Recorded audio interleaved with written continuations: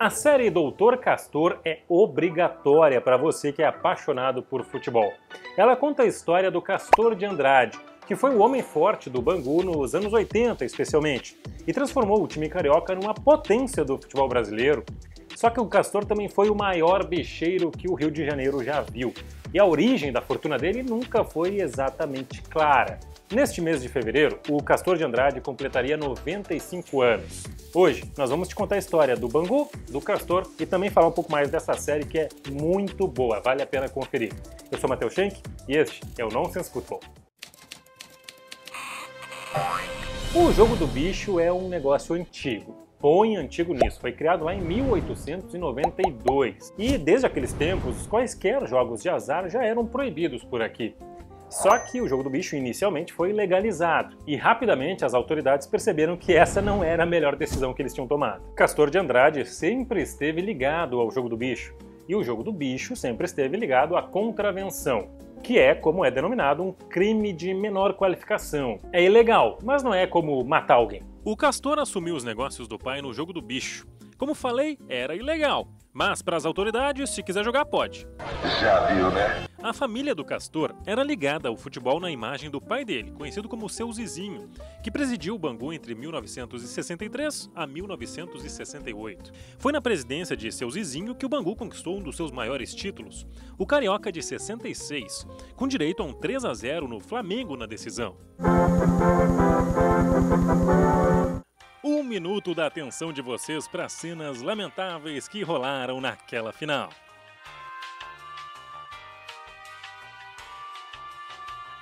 Só que foram três vices cariocas na gestão do seu Zizinho. O título de 66, claro, ajudou, mas quando o próprio Castor assumiu como mecenas do Bangu nos anos 80, ele queria mais do que as decisões estaduais. O clube se tornou um dos destinos do dinheiro da contravenção. O outro destino era a escola de samba Mocidade Independente de Padre Miguel. E a relação entre o Castor e o samba é bastante mencionada em Doutor Castor. Os dois primeiros capítulos da série falam muito da relação do Castor com o Bangu e como a comunidade ficou muito surpresa ao ver que o Castor era o mecenas que o clube jamais imaginou que um dia ia ter. Era hábito pagar os jogadores em dinheiro vivo, mas o salário em si era baixo, bem pequeno mesmo. O que valia mesmo eram os prêmios por determinados jogos, determinadas vitórias, os chamados bichos, que aliás é uma gíria que vem do jogo do bicho. Em mais de um momento da série, fala-se que Castor tinha hábitos bem controversos, para dizer o mínimo. Ele chegou a atirar próximo à cabeça de um jogador que dormia sentado à trave na hora que o treino rolava. Também metralhou uma parede na toca do Castor. Sim, o Castor construiu um tipo de um resort. Tinha piscina e tudo, para servir de morada para os jogadores e também de concentração. Essa era a Toca do Castor. Como eu ia dizendo, ele metralhou a parede da Toca do Castor uma vez porque andava irritado com alguns problemas oriundos do jogo do bicho. Ah, ele pagou os jogadores numa boa, depois de atirar a esmo. O dinheiro vai cair. Olha lá. Só que, claro, não tinha nenhuma inocência nesse investimento do Castor no Bangu. Era ali que ele podia lavar dinheiro das apostas, ganhar muita influência entre as autoridades e, claro, passar a imagem de mecenas e benfeitor da comunidade. O Bangu viveu seus anos dourados a partir de 1980. Castor não poupava esforços e dinheiro para fazer todo mundo feliz dentro de campo. Não poupei despesas. Com um time realmente forte, o Bangu já vinha despontando com destaque no cenário estadual, até que veio a campanha do Brasileirão de 1985. A equipe, treinada por um recém-aposentado Moisés de Andrade, tinha nomes como o goleiro Gilmar, os pontas Marinho e Ado, o meia Mário, entre vários outros que brilhavam naquela década.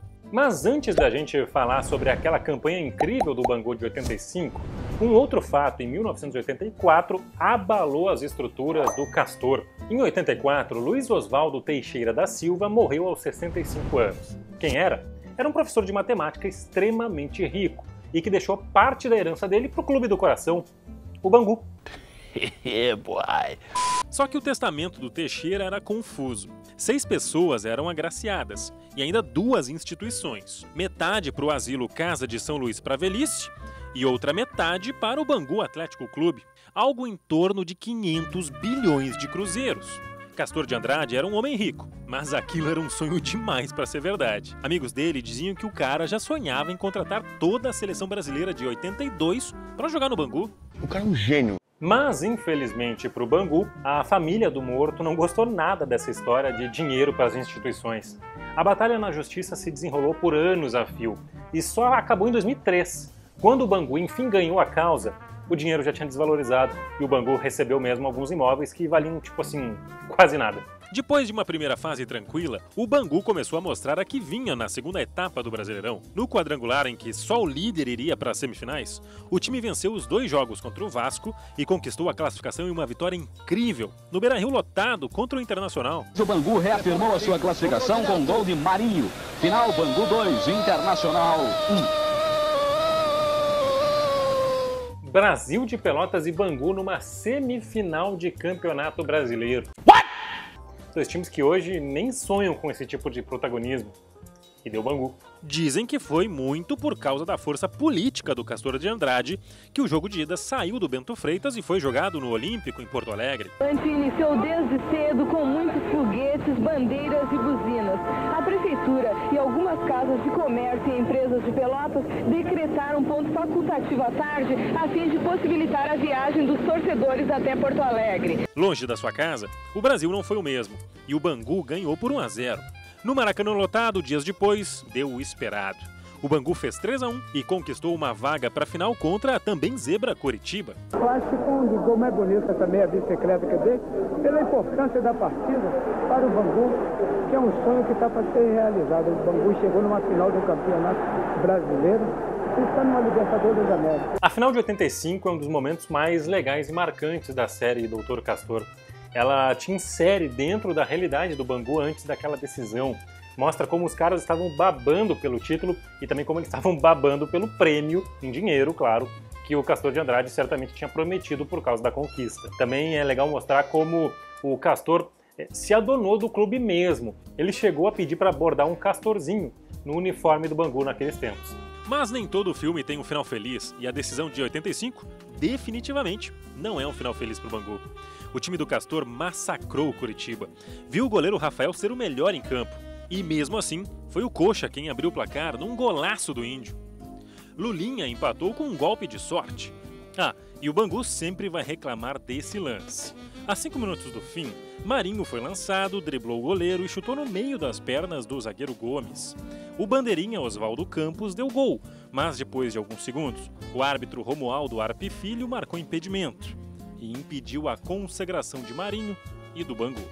E os 91 mil torcedores no Maracanã iam mesmo ver a decisão sair nos pênaltis.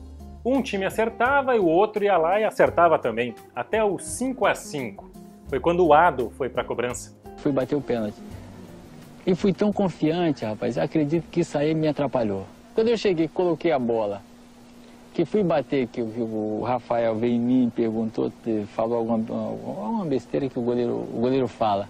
Mas já está no meu subconsciente que eu ia bater do, do, do, do, do outro lado. Eu bati do, do, do, lado direito dele. Eu bati do lado esquerdo. Quando estou chegando perto da bola, eu já vi ele caindo. Aí eu quis mudar. Falei, pô, vou tirar um pouquinho dele, que ele já está caindo e tal. Quando eu tirei, eu tirei muito.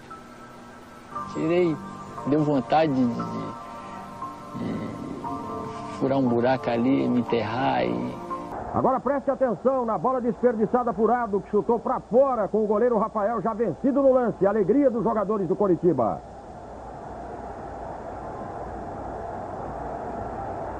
Veja seguir o pênalti que garantiu o título para o Curitiba. O zagueiro Gomes, o único jogador em campo já campeão brasileiro em 78 pelo Guarani, foi lá e garantiu a festa. Curitiba 6 a 5 nos pênaltis. Eu peço desculpa de, de público ao povo do, do, Rio de Janeiro que eu estava com confiança. Você vê as dificuldades que a gente passamos no Rio Grande do Sul.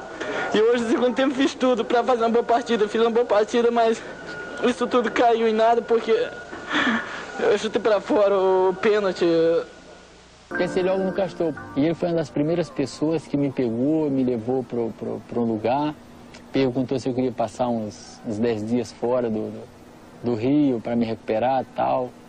Deixou um dinheiro no, na minha conta. deixou aberto no, no, no aeroporto para onde eu quisesse viajar, eu e minha esposa. A derrota machucou demais o Bangu. Todo mundo concordava numa coisa. Caras tinham bons jogadores e um bom dinheiro vindo da contravenção, mas faltava camisa. Tentando reverter a situação, o Bangu foi, meses depois, disputar o Campeonato Carioca e fez uma boa campanha. Chegou ao triangular final e estreou vencendo o Flamengo. Bastava um empate contra o Fluminense para o tão aguardado título vir e a fama de eterno vício ir embora. Marinho fez o primeiro gol aos 4 minutos. Era aquele dia. Mas não foi. O Flu virou no segundo tempo e o Bangu reclama até hoje de um pênalti em Cláudio Adão no último lance, que José Roberto Wright ignorou.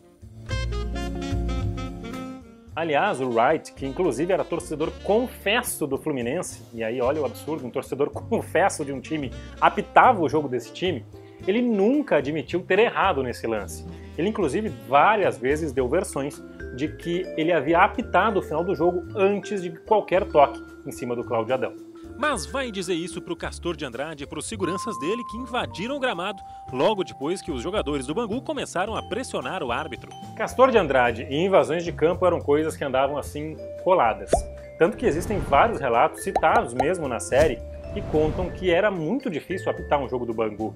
Isso porque o Castor realmente metia pressão nos caras mesmo. Há relatos, por exemplo, de um árbitro que chegou a ganhar engradado de cerveja por causa da boa atuação contra o Bangu.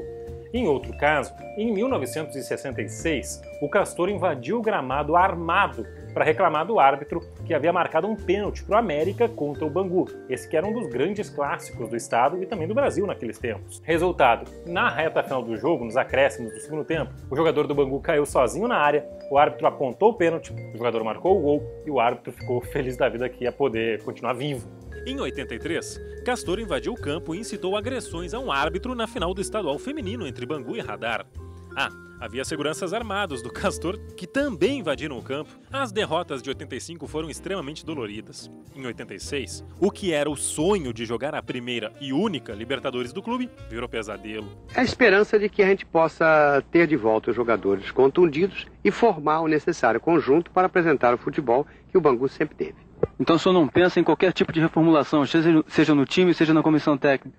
Não, porque no momento para contratar jogadores é impossível, porque as inscrições para a Taça Libertadores já se encerrou. Com dois pontos em seis jogos, o time foi lanterna do grupo com o Coritiba, que de novo não perdeu para o adversário carioca.